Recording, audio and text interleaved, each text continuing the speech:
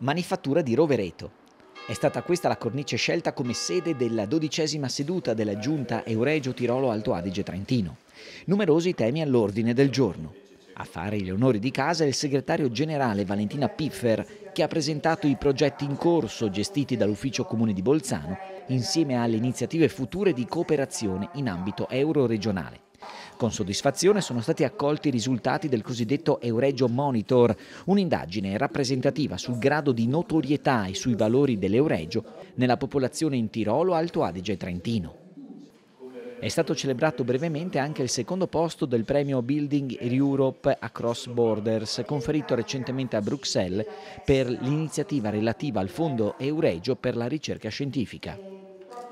Beh, oggi abbiamo anche preso atto con soddisfazione che il Fondo Euregio per la ricerca ha ricevuto un premio di prestigio, è un premio della Commissione europea, eh, è un premio Costruire l'Europa senza frontiere ed è quanto mai attuale perché dimostra come lavorando assieme si possano fare delle cose molto interessanti. È un fondo dedicato di circa 3 milioni di euro, dedicato alle nostre tre università, ma anche agli istituti di ricerca che gravitano eh, nella nostra euroregione, implementa direi la loro capacità di lavorare assieme che è già molto buona e soprattutto favorirà e questo è un altro obiettivo eh, del fondo, la mobilità eh, fra professori, fra didattica e fra, eh, fra studenti delle stesse università. Nella seduta di Rovereto sono stati illustrati i dettagli del coinvolgimento nel progetto EUSALP e in particolar modo dell'insediamento del cosiddetto Service Point a Bruxelles. Presentati anche i nuovi report della task force dell'Euregio sulla gestione dell'emergenza profughi. C'è da registrare anche il fatto che i flussi sono molto inferiori rispetto all'anno scorso, questo probabilmente è dovuto anche a un impegno straordinario del governo sul fronte anche diplomatico per quanto riguarda il tema del Mediterraneo.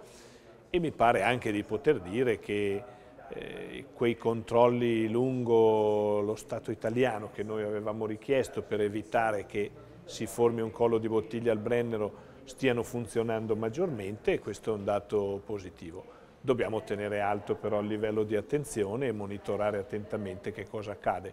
Lo faremo però anche affermando un principio, che ciò che a cui abbiamo lavorato, cioè la capacità di guardare al futuro assieme, è ancora un dato eh, che vogliamo conservare nel nostro agire. Particolare attenzione è stata data al progetto Euregio Sociale, uno strumento per dare delle risposte concrete ai cittadini dell'Euregio che si trovano per un motivo o per l'altro in difficoltà. La conferma da parte di Euregio di giocare un ruolo da protagonista sulla scena internazionale anche quando vengono affrontati temi di fondamentale importanza.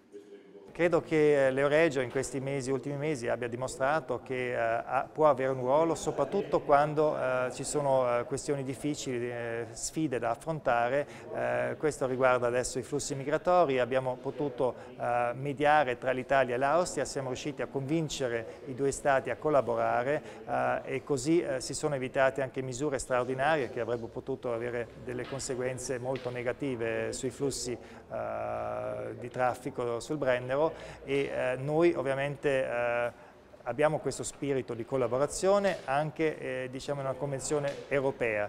L'Europa ci guarda, ci guarda come modello eh, di collaborazione tra i popoli, di, eh, eh di superamento dei confini e questo ci rende anche orgogliosi e vogliamo andare avanti in questa direzione. La giunta dell'Euregio ha discusso del progetto didattico Euregio che si ispira al modello della cosiddetta scuola europea illustrati i dettagli del tour ciclistico delle Alpi e del Music Camp dell'Euregio a Dobbiaco in Valpusteria.